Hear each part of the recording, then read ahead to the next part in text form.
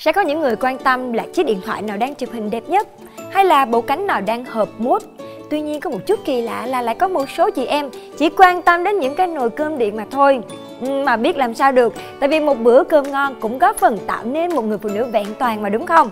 Và cũng chính vì lý do đó cho nên là các chị em của chúng ta cũng thôi không ngừng tìm hiểu về những mẫu nồi cơm điện mới hiện đại bây giờ. Trong số đó phải kể đến Cuckoo, một thương hiệu nồi cơm điện phổ biến tại Hàn Quốc và tạo được niềm tin cho khách hàng nhờ chất lượng cũng như là những công nghệ mà nó mang lại. Và cũng chính vì lý do đó, ngày hôm nay Hồng Mại sẽ giới thiệu đến cho các bạn một mẫu nồi cơm điện đến từ thương hiệu này. Ok, cùng bắt đầu thôi.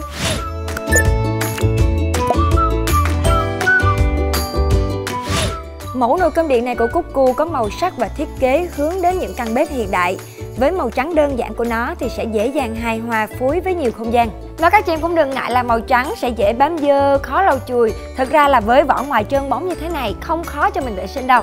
Khi mua nồi sẽ có một số phụ kiện đi kèm bao gồm cốc đông, muỗng xới cơm, sửng hấp và dây điện dài 113cm. Với sửng hấp thì kết cấu của nó rất là cứng và chắc chắn Nhưng mà với thiết kế này thì Hồng Hạnh nghĩ là mình sẽ không thể nào cùng lúc là vừa nấu cơm mà vừa hấp đồ ăn được đâu Nhưng mà Hồng Hạnh cũng biết là một số chị em sẽ không thích điều này Bởi vì trong lúc hấp đồ ăn thì có thể sẽ nhiễu nước vào cơm Cho nên đây không hẳn là một điểm trừ đâu Nồi hoạt động với công suất 890W, có dung tích là 1,44 lít. Chất liệu lồng nồi chính là hợp kim nhôm phủ chống dính. Chị em có thể nhìn vào lớp phủ chống dính bên trong nồi này nha, trơn nhám. Còn cái màu đen này là tạo cảm giác như là nồi làm bằng gan vậy.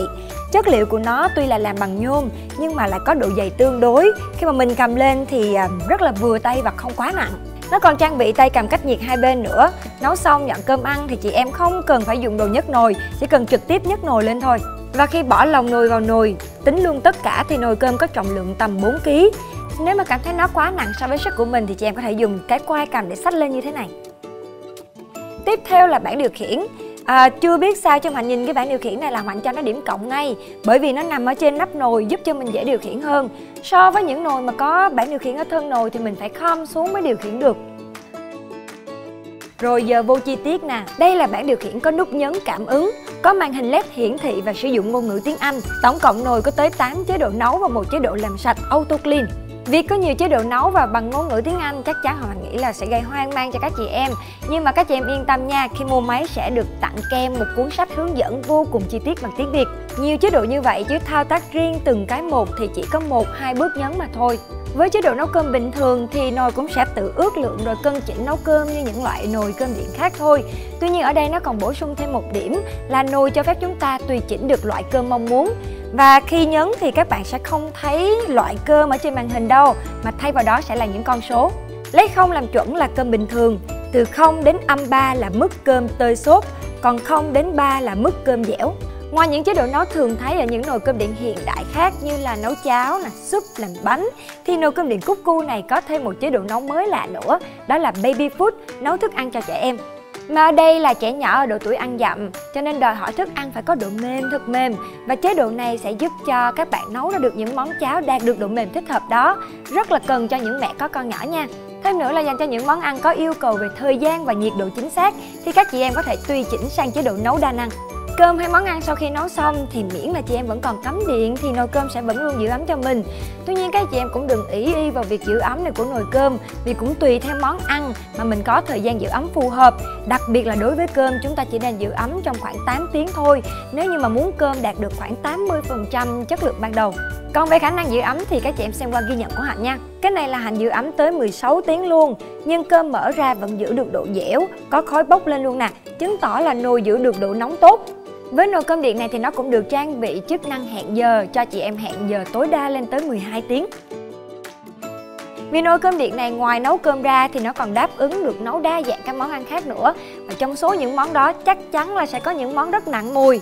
Mà nếu như chúng ta không khử được mùi, lần sau nấu cơm sẽ bị ám mùi vào trong đó. Và chắc chắn khi cơm đã bị ám mùi rồi thì rất là khó chịu luôn. Thế nên sự thấu hiểu là ở đây khi nồi có chức năng tự động làm sạch nó sẽ tự động làm sạch mọi ngóc ngách của nồi bằng hơi nước giúp nồi trở lại hiện trạng sạch sẽ và như mới Cách dùng là sau khi chúng ta nấu những món ăn nặng mùi, chị em sẽ cho nước vào trong nồi đến mức 2 và đóng nắp nồi lại.